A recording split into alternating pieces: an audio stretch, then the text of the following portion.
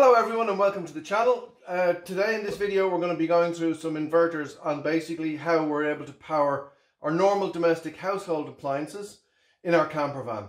We're going to convert battery power, 12 volts from our leisure batteries, through these inverters and create normal household electricity. So basically we have connections on the back of these inverters. We have we have negative and positive inputs that we connect to the battery. And on the other side, we have two 13 amp sockets. We can use this to power two different circuits within the van. Now, inside in these, they're both fed from the same source. So even though you've got two sockets, it would just normally mean that you'd be able to allow to plug in two different appliances directly into it. But because we're going to be wiring this into a camper van, we're going to have a series of sockets that we're going to wire. This is a 2000 watt inverter, which basically means that it can power quite a lot of stuff. This is a 1000 watt inverter, which is quite a small inverter, um, but will still be able to power quite a lot of things. One of the things that we're going to be doing in our camper van is we're going to be putting in a standard domestic household fridge. It's an under counter fridge with a little freezer compartment. So let's have a look and see how we're going to do this. I'm going to do a much more in-depth video into these inverters, how we wire them, how we connect them, we're going to go through all of that. But for the meantime, we're just going to go through the basics. So a standard inverter, as we said before, black, negative, red, positive.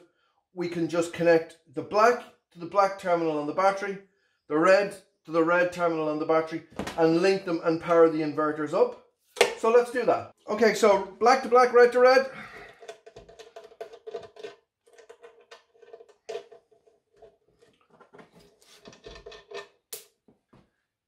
So basically we've got this connected. We turn it on, we've got power. When I'm putting this in the camper van and I'm going through it in the much more detailed video, um, what I'm basically going to do is we're going to have this inverter and the battery and all the cable protected by a breaker. I'm not going to go through that, that's more for a more in-depth video. But basically we have power on and power off. So now effectively we should be able to run a device that's designed to run off your mains household power at home that you just plug into a socket in the wall. Here we have a hammer drill with a standard 3 pin plug on it. We'll plug it into our 3 pin socket on our inverter. So that's plugged into the inverter, the inverter is plugged into the battery.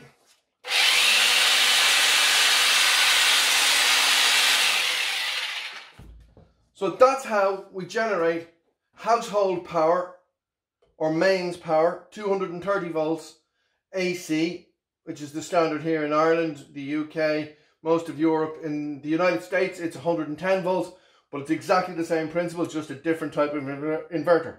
Is when we're in the camper van, we have this device here, which is our battery monitor. Again, I'm going to show a bench connection of all of these set up and how they would work for real in the camper van. But just for the purpose of this video, basically this is connected to this, which is our shunt, which goes in between the battery power and the inverter. And it basically records how much power we have in the battery, how much power we have remaining in the battery, and how much power we're using on any particular given appliance. And we can do a real world test of that in the camper van, but we're not going to worry about that right now. This is just the basic setup of the inverter. Um, so this is 620 watt drill. This is a 1000 watt inverter. I always maintain, I try to allow 75% uh, error factor. What I mean by that is, is that if I calculate the power of all the items in the camper van that we're going to use, I want to make sure that under no circumstances are we ever really going to use any more than 75% of the power that's available to us. Now this inverter is a thousand watts. I want to make sure that no matter what I do, I never put a load of any more than 750 watts on it. They say they're rated for a one second surge protection of 2000 watts, which means is that you can put a very big load very, very quickly on it.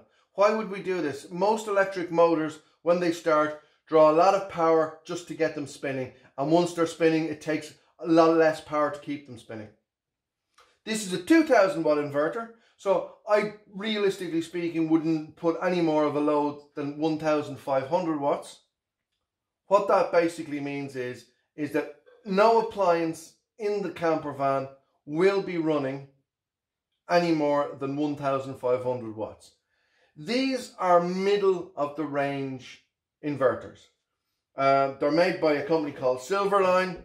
They do, there's 2000 watts, there's 1000 watts available. There are much cheaper inverters available. There are much more expensive inverters available. What we need to do is decide within our budget what we can afford and what sort of power we need. So I'm going to link in the description below some links to budget inverters, middle of the range inverters, and top of the range inverters. The difference is, some of the more basic inverters um, just literally have an on-off switch and a 13 amp socket. Some of the better ones, they have slightly more power. They have two 13 amp sockets, which mean I could run two different circuits. They also have two USBs if you wanted to charge some tech. Now, there are much more expensive inverters that have remote monitoring, so you can plug in a remote monitoring to go and have a look in your habitation area, in your camper van, or your boat for that matter, um, RVs, whatever. The other main thing is, is that we're going to be running all of our uh, USB sockets as these guys. So basically, we have a USB socket, we open it up and we want to charge our gadgets off it. Some people off their inverters, when they're putting their sockets in their camper vans or their RVs or their boats, they put the 230 volt socket with the USB outlet on them. The only downside to that is, is that you have to have your inverter on to run your USB sockets. So what we're going to do in our camper van is we're going to wire the USB sockets through a circuit directly to the battery through our 12 volt fuse box. If you haven't seen the 12 volt fuse box, uh, there's a link to the video on it.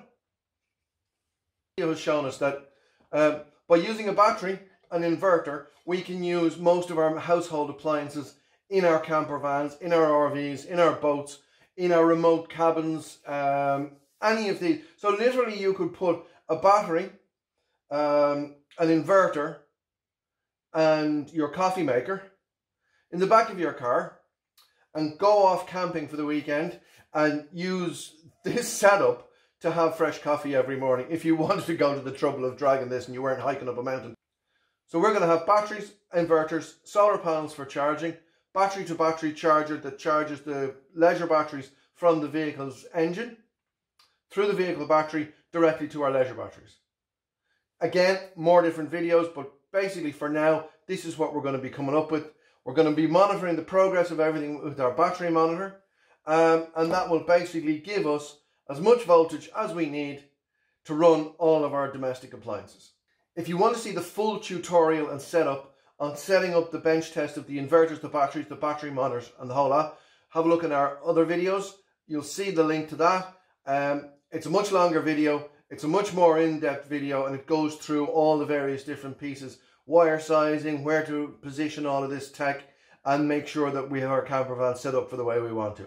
But in the meantime, thank you very much for watching. I hope this has been informative and has given you an idea of how to use our batteries, our inverters to run our normal household appliances in your camper van, RV, or boat for that matter. If you have already subscribed, thank you very much. Uh, if you haven't subscribed, maybe consider doing so here. And then here's a couple of videos that might be worth a watch to give you a bit of an idea of what else we're going to be doing with the camper van. Thanks for watching. Goodbye.